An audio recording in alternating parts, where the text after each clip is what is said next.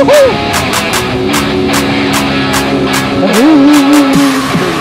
nila. Medyo ma-engine brake lang tayo ngayon. Oh, ay, ay, ay. Yan, GTs. Woohoo! Solid! Ay, balag, balag.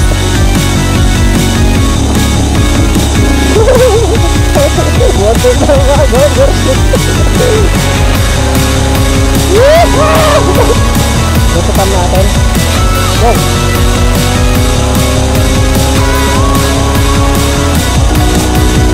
After five years, welcome to my vlog!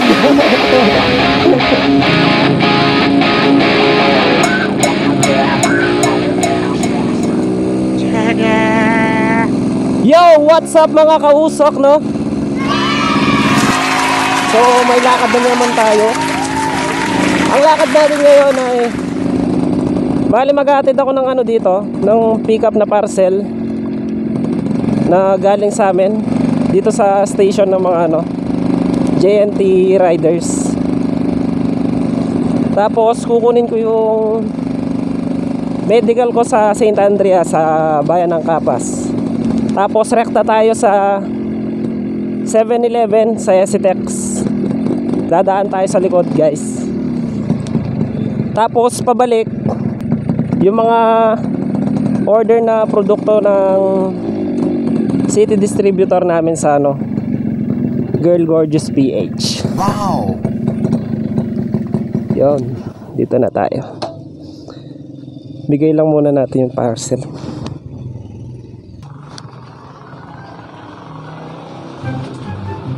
Sir, ito yung kayo, no?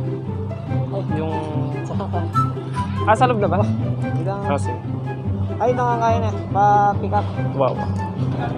Okay, naiwan yan, sir. Ah, Kasi yan. Arigato. Thank you.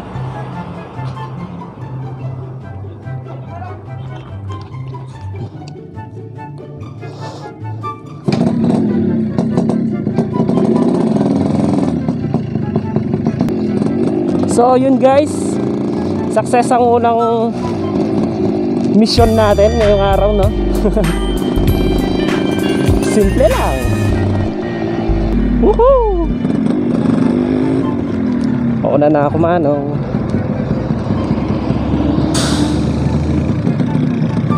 Tara pasok.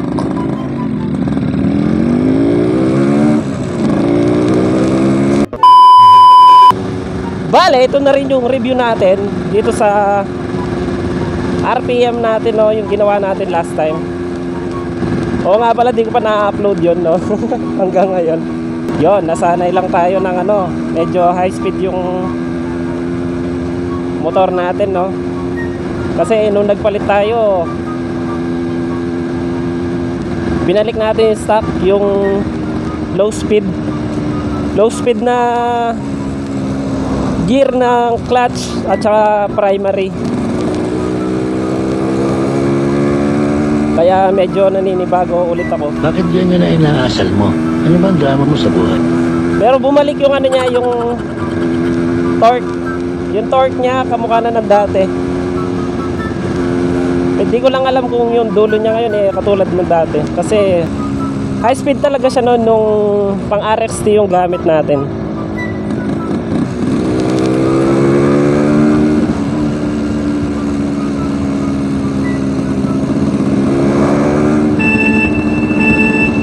Kita kaya yung ano, RPM niya?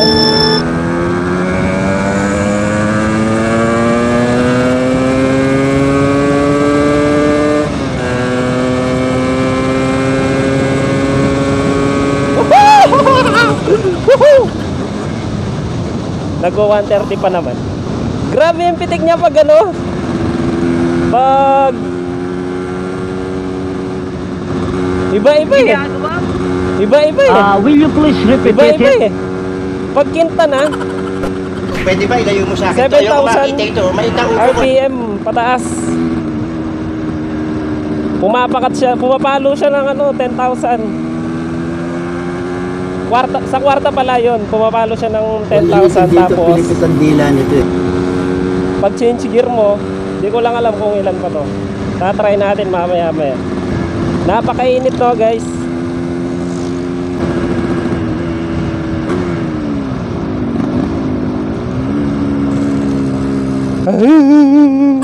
Yun, hindi lang. Medyo ma-engine brake lang tayo ngayon kasi nga low, low speed yung ano natin, yung transmission natin ay yung combination ng primary at ano clutch housing. Pero kung torque yung pag-uusapan, ano siya, bawat kambyada niya ano, parang ready siya lagi, ganun. Pero sakto lang, hindi naman ganun kagalit yung makina. Pero kung ibababad mo kasi siya sa ano, kinta, full throttle, maawa ka sa ano makina mo. Humihiyaw kasi.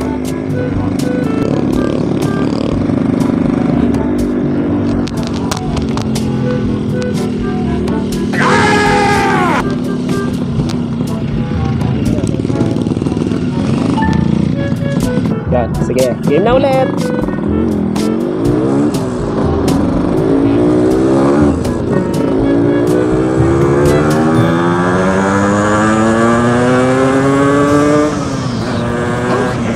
Puta, Tresera, nagti 10,000 RPM.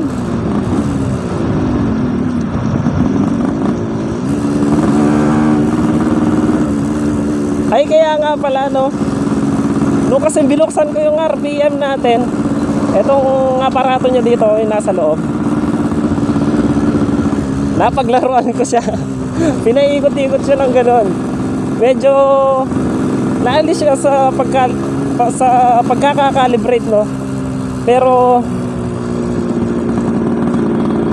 baka ano to, nadagdagan siya ng ano, nag-advance siya ng 500 RPM.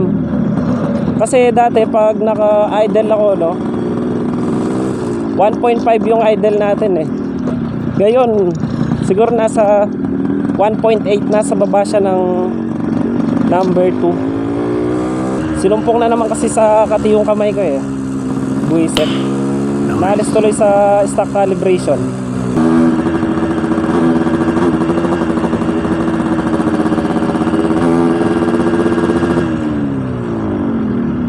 Bakit kaya traffic? Ay, nabusog ako sa gutom.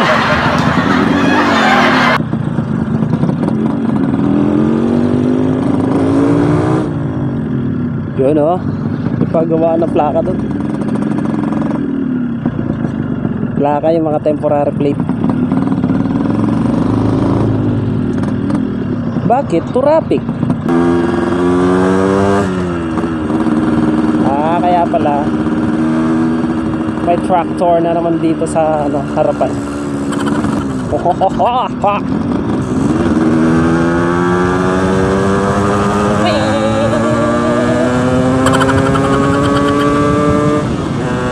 So yun guys, nandito na tayo. Malapit na tayo. Bale, kung papasok ka dito sa left, nandun na yung exit ng St. Andrea. Pero dito tayo sa entrance tayo. Yan, para tayo, para para. Para para. Yan, ito na. Bale, pick up na. I-pick upin lang natin yung resulta natin. Kasi kahapon pa tayo nagpa nagpa-medical. Okay.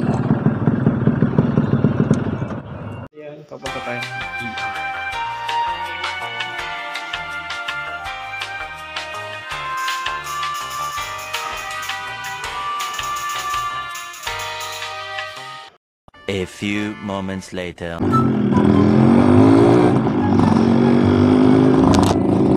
Woo! Kainit! So, yun guys, no? tapos na tayo sa pag-pick up ng ano natin, resulta. Bale, may pahabol ka pala kanina. Tinanong tayo nung si Doc kung yung mga kung may mga history tayo ng mga sakit. Yun, hindi ko alam kung ano kasi tawag doon. Pero yun yung pahabol na nangyari, no? Gusto ni mami sa cashier. Babalik pa daw ako 3 p.m. Eh, sabi niya nga kahapon, balik na lang daw po ako bukas. Ay, ngayon, 9 a.m. Eh, 2pm na nga akong pumunta eh. Tapos papabalikin pa ako ng 3pm. Labo naman nila. 20 minutes later. Gas station muna tayo, Lods. Tapos mag-withdraw tayo, no? Woohoo! Bakit ba pag may lakad tayo eh napakainit? Napakainit, guys. Babam!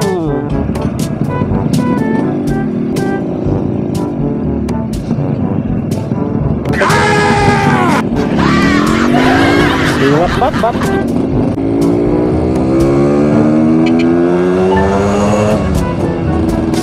Slow down. Woohoo! Green light.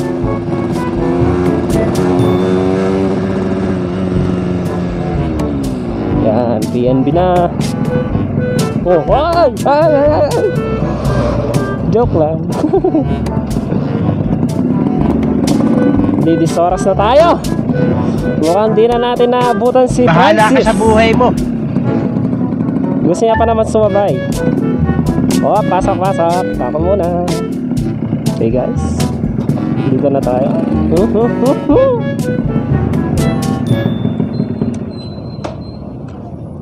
Aray, aray, aray, aray. Kunyimas. So, sana hindi tayo matulad dati, no? Yung lakad natin nung nagpa-ship tayo ng Bakit ganyan na Tambucho. inaasal mo? Ano ba ang drama mo sa buhay? yung ang daming lock ng ano ng ATM card transaction completed please get your card A few moments later. wait lang baka mahulog yung isang libo ready na okay na no okay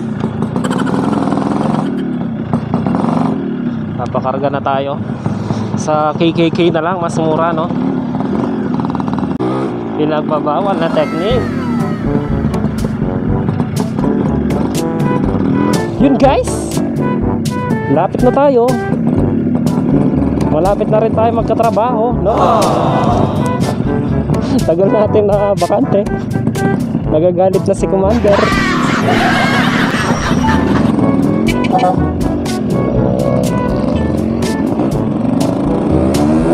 Oh, magic singit. Oh. Sabi ko nga kanina, no, matagal ako na bakante sa trabaho. Ano, napakahirap kasi maghanap ng trabaho ngayon.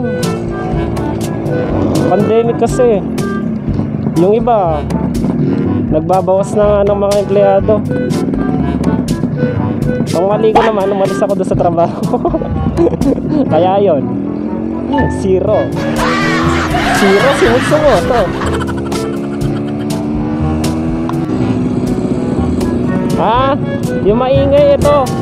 Bali kasi naayos ko na to itong panel natin, yung sa speed meter. Pati yung sa tachometer. Naayos na natin yan, wala nang ingay yan. Bali maingay pala ito. Ito susiyan natin. Bali, babalik ko yung sticker niya dito. May nagalis kasi na bata, eh, nalis yung sticker natin dito. Kaya ngayon, nagbabibrate siya.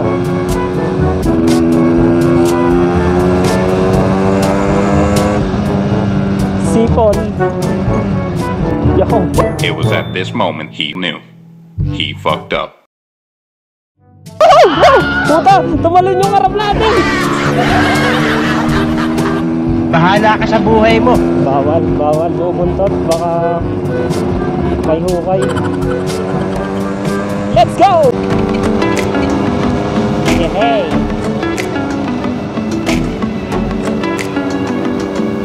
hey. Tutulog big bike tayo.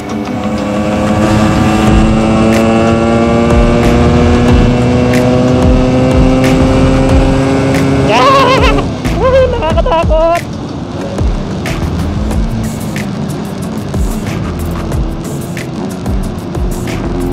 Kung mapapansin nyo nga pala no, lagi yung bomba ko. So, hindi naman yung ano, ah, kayabangan no. Hindi yung kayabangan mga kausok. Bumabomba tayo kasi ayoko naman matuyuan ng oil yung ano natin no? Yung yung cylinder natin. Kaya bumabomba ako lalo na pag bumabatak pagkatapos mag wide open throttle bumabombahin kaya para nasusuplayan ng ng 2T yung ano natin. So dito na tayo no? Dito na pala tayo bilis. Papunta na tayo ng ano 7-Eleven bali yun pala no? Yun. Yun yun. Yun. Oo. Nilulubricate ko lang yung cylinder natin doon. Kasi alam niyo naman pag nag-engine brake ka tumitigil yung supply na ano natin ng tumitigil yung supply ng tuti natin sa cylinder natin. Kaya bubomba ko para iwas ano na rin. Iwas pas, pagka alas pagka agad ng ano ng piston tsaka piston ring pati ng block Ka- yun yun yung dahilan ko no hindi yung kayabangan mga kausok lods no yun DT Woohoo! Solid!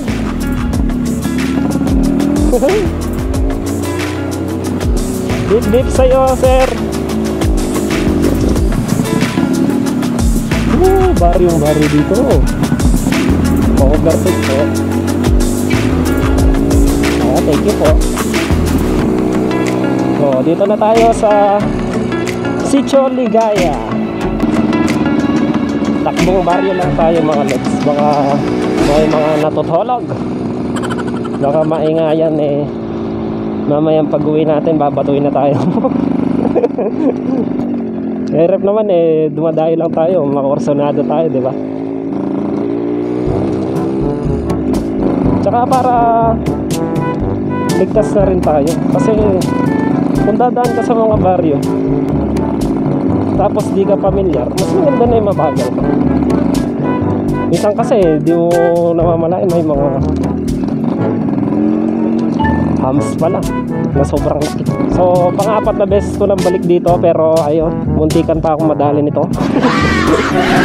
Yan o, ang Talaya Farm!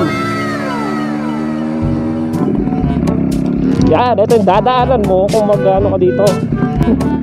Pag nilandi mo yung throttle mo dito, bahala ka na. Lilipad motor mo sa kanan. Nandito pa kaya si Master Francis. Bali siya yung naging ano natin, no? Tulay sa tagumpay. Hindi, tulay natin siya para kasi siya, siya- sa kanya ako nagpatulang mag magpa-apply dito. Ayun, nandito pa yung mot-mot niya. Ayun, no? Yung nag-iisang Super Mio. so, ayan yung lalakaran natin.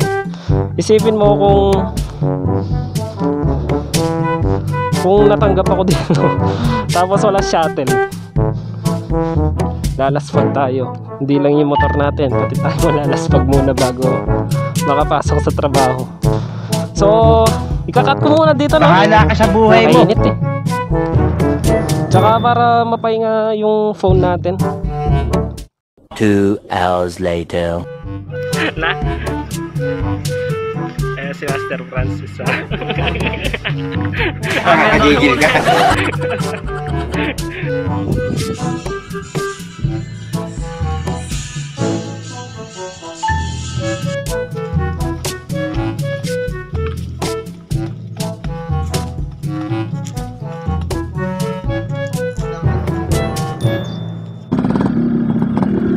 Let's go!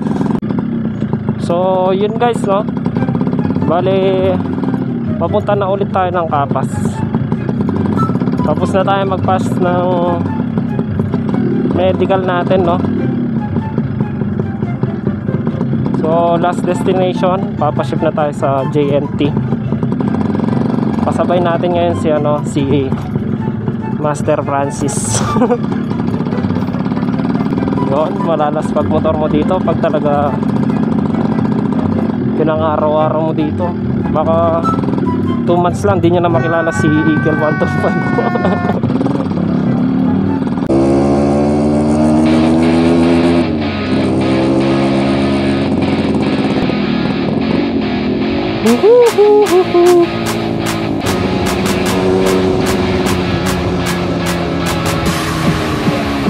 Oy, balas, balas.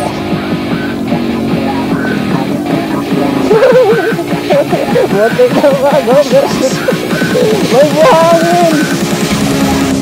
Maya ka na magrat-rat na no, bara barangay road pa lang tayo eh.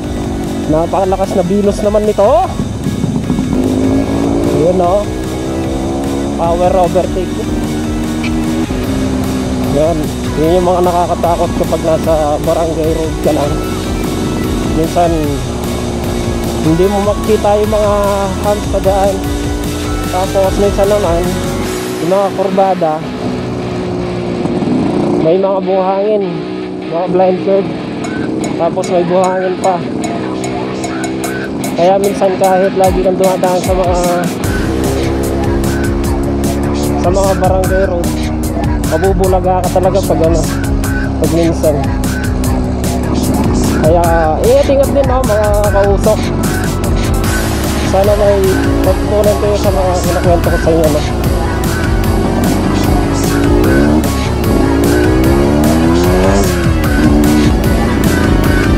Ano kaya ang gagawin ni Master Francis? O overtake kaya? O, o overtake siya. Woohoo! Basa! Oo, wala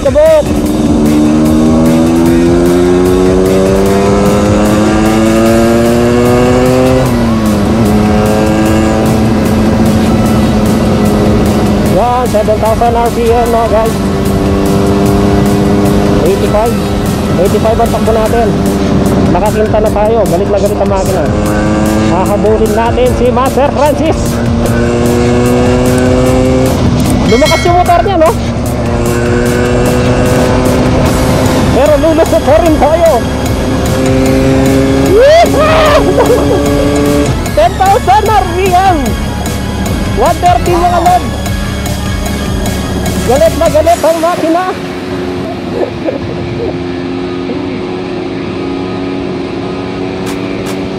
Sa RPM niya kasi guys, ayun oh, lagi nasa 6,000 Pag binira mo, talagang gustong gusto niya gusto niya sagad eh. Galit na galit eh. Gusto manakit Okay, pupuntahan natin si Master. Titignan natin kung hanggang saan yung top speed niya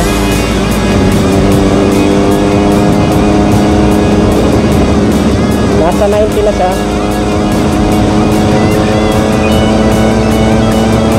Tandaan. Lusutan natin. Go!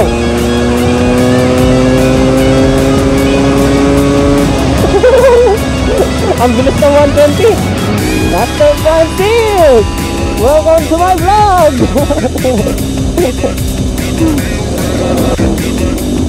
Nagtunog big bike na naman tayo doon, no, mga lod.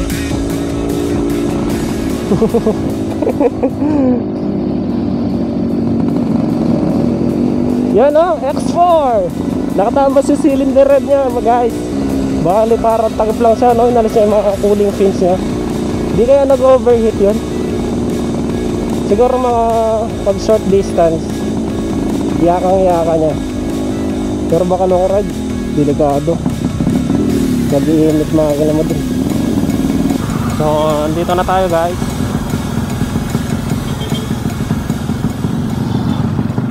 Ang dami natin lakad ngayon no? Kasi di makalis si mami. Kasi mainit.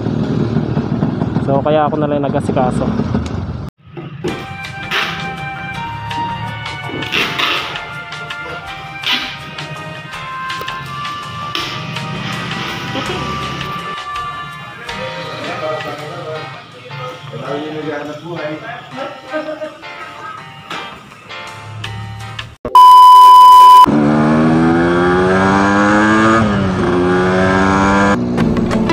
guys.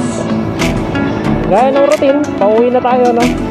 Pagkatapos magpa-ship Buti na lang medyo Nagiba yung Scene natin ngayon. May kasama naman tayo. Salamat sa iyo no? Ah, Master Francis. Francis Magalona. Master Francis Yabut no? Shout out So guys, sana na-enjoy nyo yung vlog natin ngayon, no? At sana huwag nyo kalimutang mag-like at share itong video natin. At huwag nyo rin kalimutang mag-subscribe para lagi kayong updated sa mga content na bagong upload natin, no? Pwede din kayo mag-comment sa baba para kung may mga suggestions kayo, no, na pwede natin gawin. So sana nag-enjoy kayo. Enjoy the ride, no? Habang pauwi.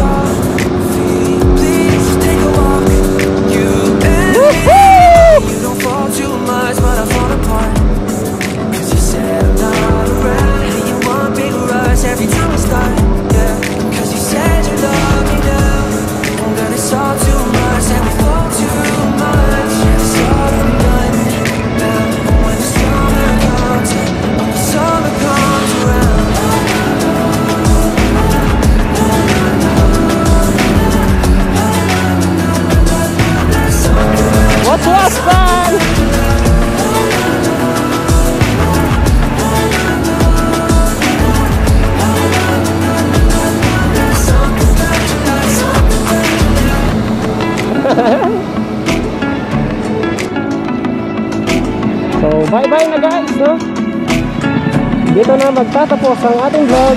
Salamat!